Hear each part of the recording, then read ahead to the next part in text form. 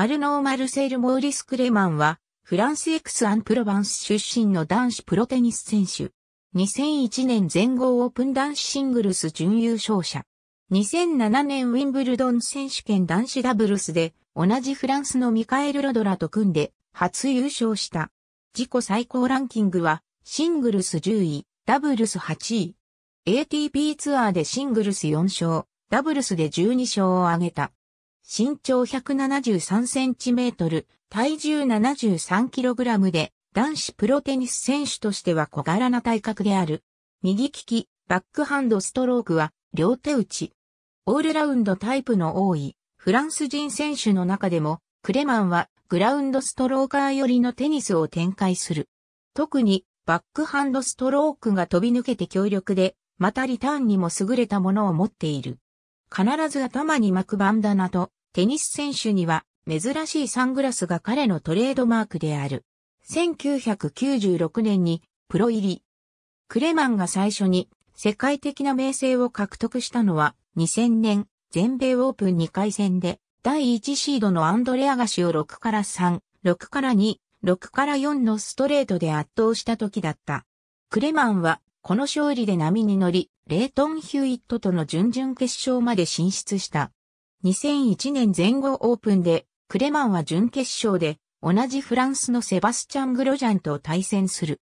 ダブルスで、ペアも組む親友を5から7、2から6、7から6、7から5、6から2の逆転で破って決勝に進出し、そこで再び、アガシと顔を合わせた。この度はアガシが絶好調で、クレマンは4から6、2から6、2から6のストレートで完敗した。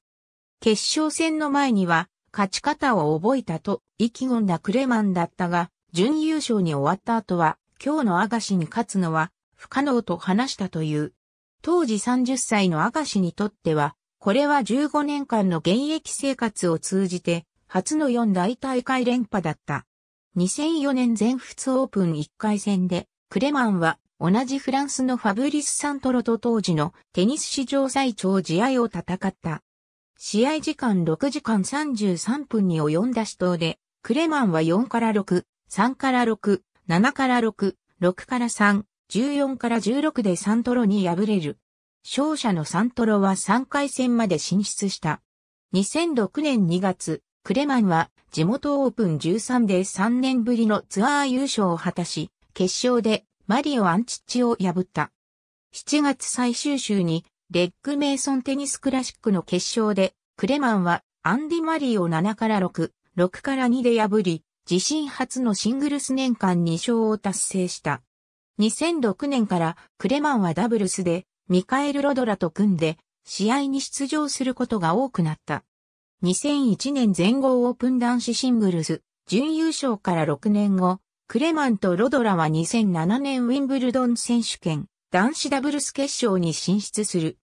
二人は決勝で第1シードのブライアン兄弟を6から7、6から3、6から4、6から4で破り、クレマンはウィンブルドンの地で初めての4大大会タイトルを獲得した。クレマンとロドラは2008年、全豪オープン男子ダブルスでも決勝に進んだが、イスラエルペアのアンディラム、ジョナサン・エルリック組に5から7、6から7で敗れて、準優勝になっている。同年の北京五輪で、ロドラとクレマンは、男子ダブルス準決勝で、スウェーデンのシーモン・アスペリン、トーマス・ヨハンソン組に6から7、6から4、17から19で競り負け、3位、決定戦では、アメリカのブライアン兄弟に6の3、3から6、4から6で逆転負けを喫しし、男子ダブルスのメダルを逃した。2008年ウィンブルドン選手権でクレマンは初めてシングルスのベスト8に入った。準々決勝のライナー・シュットラー戦は、雨天順延のため2日がかりの試合となった。クレマンは、シュットラーに3から6、7から5、6から7、7から6、6から8の激戦で敗れ、準決勝進出を逃した。クレマンは2012年ウィンブルドン選手権を最後に現役を引退した。2013年からギーフォルジェに代わり、デビスカップフランス代表監督に就任することが発表された。しかし2015年に解任された。2008年より歌手のノルウェンドロワとパートナー関係にあり、2017年には数子を設けている。W イコール優勝、F イコール準優勝、SF イコールベスト4、QF イコールベスト8、R イコール回戦敗退、RR イコールラウン敗退、Q イコール予選回戦敗退、LQ イコール予選敗退、A イコール大会不参加、P イコール開催延期。WG イコールデビス、Z イコールデビス地域ゾーン、PO イコールデビス、G イコールオリンピック金メダル、S イコールオリンピック銀メダル、SF、B イコールオリンピック銅メダル、NMS イコールマスターズシリーズから降格、NH イコール開催なし。ありがとうございます。